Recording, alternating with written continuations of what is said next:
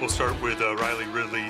So it's a great example of us taking the best player on our board. His size, his hands, his catching radius, his ability to win contested battles, his route running, and just increasing competition at the position. But truly, by far the best player on our board, and very excited to select him. When he was in here, one of his quotes was, I'm not a 50-50 guy, I went all them. So that's kind of his mindset. When the ball's in the air, he's going to win it. To have a player of that caliber there and comfortably be able to take him uh, was really a no-brainer because he was so high on board.